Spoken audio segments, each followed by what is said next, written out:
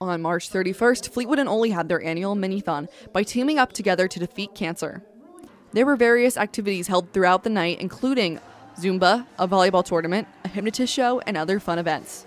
The final amount of money that was raised was $7,628, beating Student Council's goal of $5,000. If you missed out on Minithon, don't worry, the Mr. Fleetwood pageant will be held on the April 19th half day.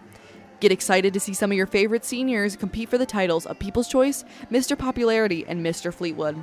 Reporting for Tiger TV News, I'm Taylor Clark.